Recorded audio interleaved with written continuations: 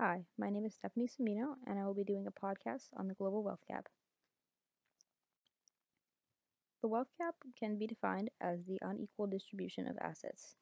It is also commonly called wealth inequality, and all wealth includes the value of your homes, automobiles, personal valuables, businesses, savings, and investments. To start out, we are going to begin by looking at a few graphs uh, to show the actual magnitude of the wealth gap that many people may not be aware of. So if you look to the right, you can see that 0.7% of the population actually controls 45.9% of wealth in the world, um, as opposed to the far left, which shows that only 70.1% of the population actually controls just 2.7% of the wealth of the world. The second graph uh, just shows the percentage of world millionaires by country. So if you look on the right, you can see that United States actually has 43 43% uh, of all of the millionaires in the world, followed by United Kingdom, which is just at 7%. To put in perspective um, what's going on in just the United States, um, if we look to the right, we can see that 41% of American families actually have the retirement savings equivalent of just the top 100 CEOs. Now, this might not sound that bad, but if you put into perspective that there are 325 million plus people in the United States, um, 41% of that is slightly under 150 million people, as opposed to just 100 CEOs. So there's obviously a very large gap in wealth in this country. A commonly used factor in determining wealth inequality is the Gini coefficient, uh, which is simply an index measuring income inequality. So with a zero, um, that would mean that you have perfect equality, which there is currently no examples of that in the world, and 100 indicating perfect inequality. Um, we look over to the right to see current highest um, Gini coefficients, number one being Lesotho, which is a country that is uh, within South Africa, which happens to be number two, uh, followed by number three, which is the Feder Federated States of Micronesia, followed by Haiti and Botswana. Um, and then we get down, just to put into perspective, for us, uh, the United States is actually number 41 with a Gini coefficient of 45. And currently, the best Gini coefficient that we have in the world is actually in Finland with a Gini coefficient of 21.5. This next graph shows um, the top 10 billionaires versus world gross domestic product um, in 2016. So what this is showing is that the world's 10 richest billionaires, um, their wealth actually is greater than the total goods and services that most nations produce on an annual basis. So when looking at the top 10 millionaires at 505 billion, we can see that they are almost doubling the economy of Colombia.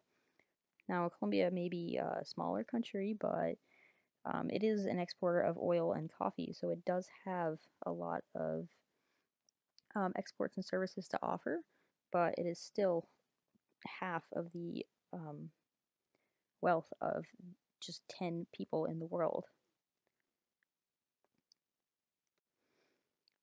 So just to put into perspective who we were just talking about, the 10 richest people in the world, I'm going to tell you who they are.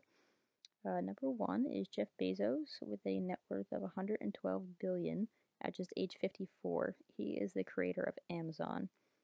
Uh, number two is Bill Gates with a net worth of 90 billion. He is the creator of Microsoft. Warren Buffett uh, with a net worth of 84 billion. He is the owner of Berkshire Hathaway, which is actually a holding company, and they own Geico, Dairy Queen, Fruit of the Loom, Helzberg Diamonds, um, and Pampered Chef, just to give a few examples. Number four is uh, Bernard Arnault with a net worth of 72 billion. Um, he is the shareholder of LVMH, which stands for Moet Hennessy Louis Vuitton, um, which is a French multinational luxury goods conglomerate headquartered in France. Um, number five is Mark Zuckerberg with a net worth of 71 billion at just age 33. Um, many of us know him as the creator of Facebook. Number six is Amancio Ortega with a net worth of 70 billion. Um, he is the uh, chairperson of Zara, which is a clothing and accessories retailer. Uh, number seven is Carlos Slim Helú uh, his net worth is 67.1 billion. Uh, he's a Mexican businessman, engineer, investor, and philanthropist. Um, and he was actually the uh, richest man in the world from 2010 to 2013. Um, then he dropped to number seven. Uh, number eight and nine are Charles and David Koch of Koch Industries, uh, each with a net worth of 60 billion. Uh, Koch Industries um, is actually a variety of things. Uh, they do refining, chemicals and biofuels, fertilizers, polymers, uh, minerals, energy, glass, investments. So they do a lot of things. Uh, Larry Ellison, number 10, uh, he has a net worth of 58.5 billion. Um, he is the creator of Oracle Corporation. Um, and what they do is develop and market uh, database software technology.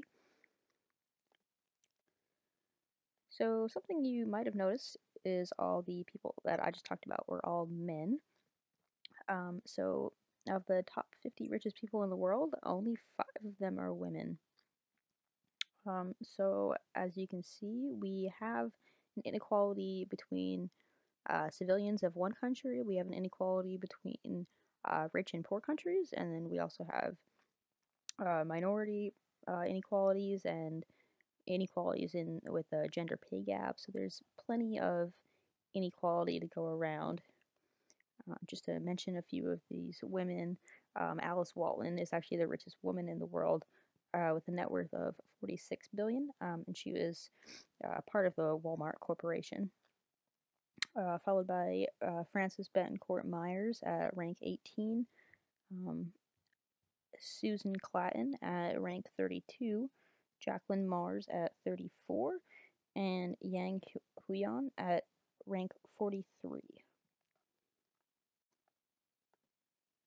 So we're just gonna look. Um, these pictures are a couple houses that are uh, around the world. You know, we can see um, what these billionaires spend their money on. Uh, you know, hundreds of millions of dollars on their houses. Um, and then we can look at these and then look at the comparison of where the other end of this inequality is living. Um, nearly half of the world's population currently lives on less than $2.50 a day, and more than 1.3 billion people live in extreme poverty, which is less than $1.25 a day. Um, some examples of things that are happening due to poverty. Um, according to UNICEF, uh, 22,000 children die every day due to the effects of poverty. 805 million people worldwide do not have enough food to eat. More than 750 million people lack adequate access to clean drinking water.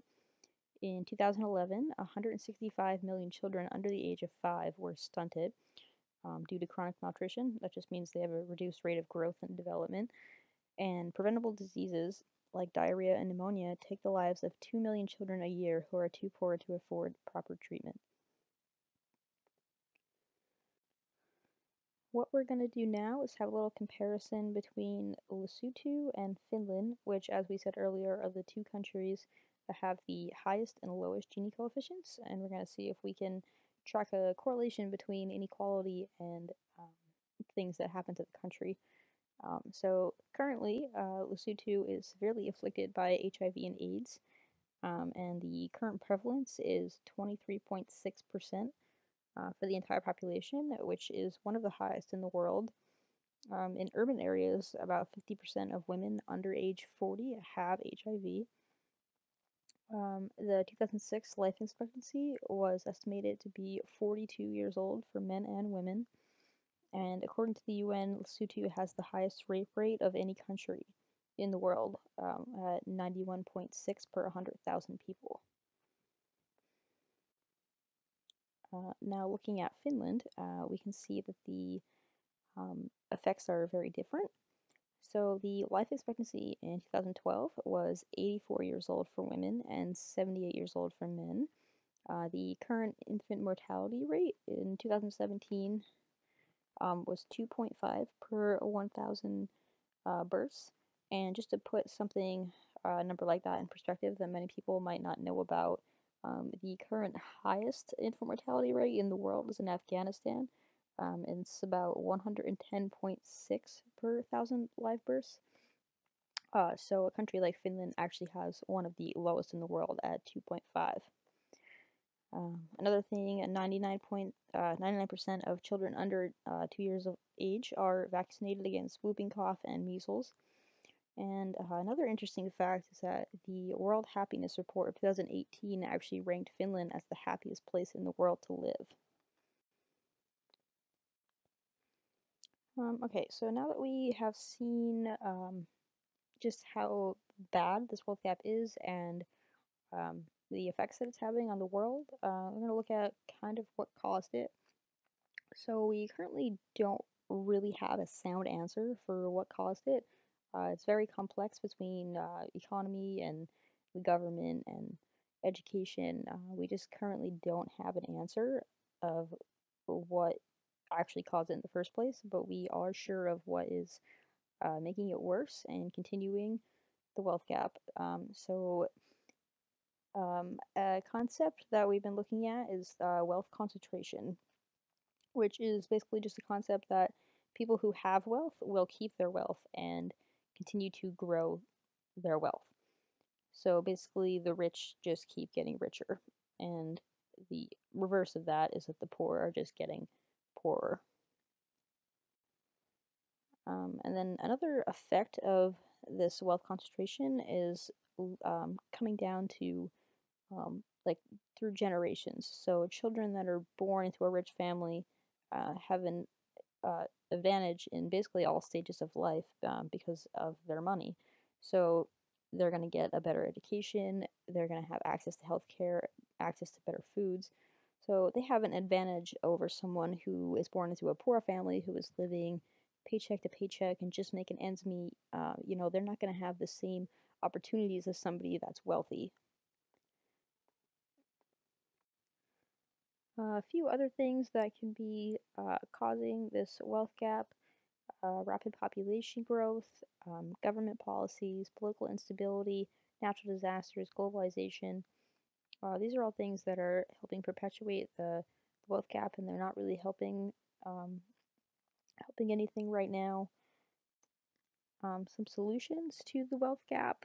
Um, it's it's a very complex uh, problem, but there are things that we can do to help it, uh, such as education and family planning, um, democracy, government policies, free trade, reducing corruption, attention to women, improving agriculture in poor countries, and foreign aid. Um, and then one last thought to leave you with. Um, it's been estimated that it would take $60 billion annually to end extreme global poverty. So that's what we were talking about prior as living on less than um, $1.25 a day. Um, and that 60 billion is actually less than a fourth of the income of the top 100 richest billionaires. Um, so just a fourth of 100 people's um, income could actually end extreme poverty. And that's just 100 people out of the over 7 billion people that are on this earth. So, in conclusion, um, the wealth gap, um, it's not really, it's not getting worse, but it's it's really not getting better at a rate that the world would like to see. Um, and there's many things that we can do on a small scale to try to eliminate this gap. And uh, I encourage everyone to uh, read more about it and find out how you can get involved. Uh, thank you.